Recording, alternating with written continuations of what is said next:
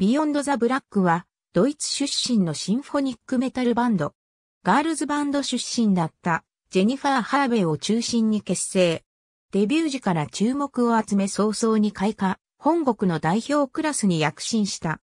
創設者、ジェニファー・ハーベン2016年2014年、母国のガールズバンド、サフィールの出身であった当時19歳の女性アーティストジェニファー・ハーベンを中心にマンハイムで結成。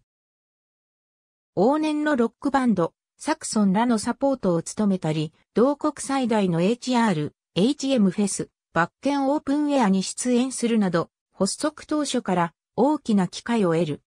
2015年、ユニバーサルミュージック参加の新興レーベル、エフォス1レコーズから同国の音楽プロデューサーサシャ・ピートがプロデュースのファーストアルバム、ソングズ・オブ・ラブ・デスでデビュー。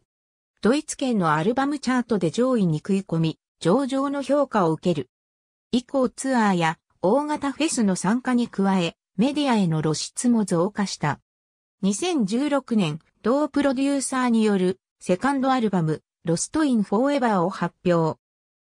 国内のアルバムチャートで前作を上回る4位を記録。欧州でも知名度が広まり、作品のワールドワイドな配給も始まる。夏までアルバムに伴うツアーや母国の重鎮、スコーピオンズのサポートを務めるなど実績を積んでいくが、バンド内部の諸事情があり創設メンバーを徐々に解消。ジェニファー以外のラインナップをすべて刷新し、秋高から新たなスタートを切った。2017年、秋の HR、HM フェス、ラウトパーク17参加で、初来日。2018年、サードアルバム、 Heart of the Hurricane を発表。ボーカルを担う女性アーティストジェニファー・ハーベンの歌唱力、ピアノ、ギターなど楽器演奏の才能や郷土の古典楽、マンハイム楽派も背景に活かしたシンフォニックメタルを展開している。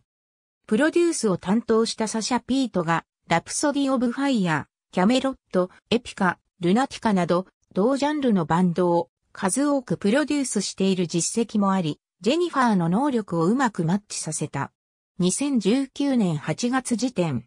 ありがとうございます。